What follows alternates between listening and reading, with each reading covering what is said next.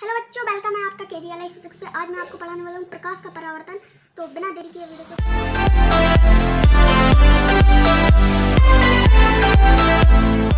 मैं आपको प्रकाश का परावर्तन चित्र सहित बताने वाला हूँ। तो सबसे पहले कोई भी स्रोत हो जो रोशनी देता हो मतलब प्रकाश देता हो तो यहाँ पे मैं सन ले लेता हूँ, उसे बना लेता हूँ।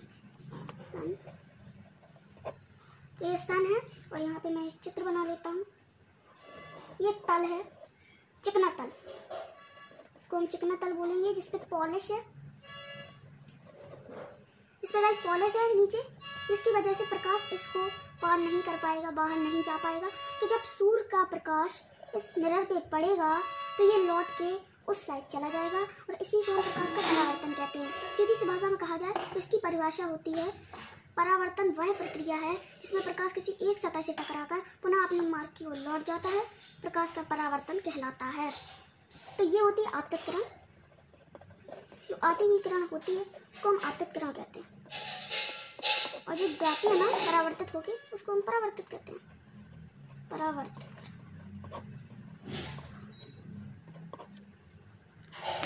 इनके बीच में एक अवलंबी होता है। इस, कुछ इस प्रकार से अविलंब। तो ये इनको दोनों को अलग अलग बांटता है इसको मतलब आई कहते हैं आपतित किरण को। कहते हैं, परावर्तित प्रकाश की गति, अगर मैं आपको बताऊँ तो वो प्रकाश की जो गति होती है, वो होती है तीन लाख किलोमीटर पर सेकंड, जिसको हम हिंदी में बोलेंगे तीन लाख किलोमीटर प्रति सेकंड। तो मैं आपको प्रकाश पुंज भी बता देता हूँ। प्रकाश पुंज, प्रकाश के तीन पुंज होते हैं। एक तो होता है सबसे पहले अभिसारी। अभिसारी। प्रकाश पुंज। दूसरा होता है अपिसारी अपिसारी होता है वैसे। मुझसे गलती से पापे मात्रा चढ़ गई, लेकिन होती नहीं है अपसारी प्रकाश पुंज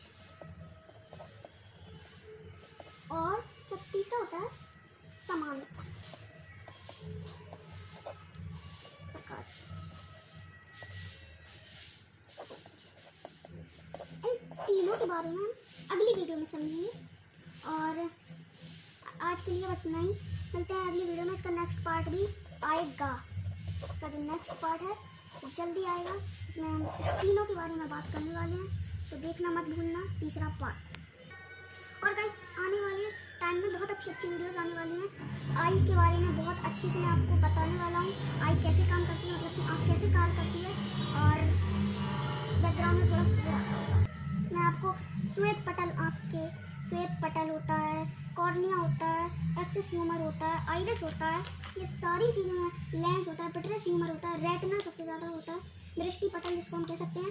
तो इन सब के बारे में आपको बताऊँगा आने वाली वीडियोस में। तो आने वाली वीडियोस बहुत ज़्यादा इंटरेस्टिंग होने वाली हैं तो ऐसी वीडियोस देखने के लिए हमारे चैनल को सब्सक्राइब कर लीजिए, ताकि आपको ऐसी वीडियो मिलते रहें, और बेल नोटिफिकेशन को भी ऑल पे सेट कर लेना, ताकि आपको ऐसी वीडियो सबसे पहले मिल सके। Bye bye guys thank you so much for watching